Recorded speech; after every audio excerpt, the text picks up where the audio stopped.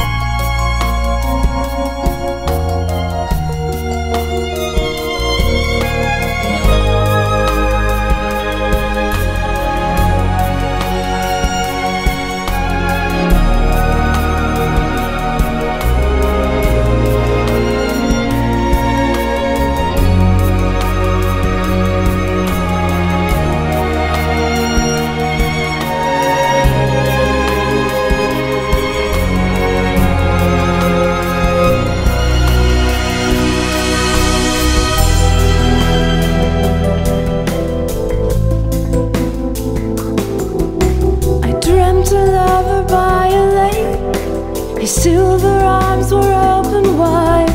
And though I thought my heart would break, I did not sit down by his side. For there were ravens circling in the air.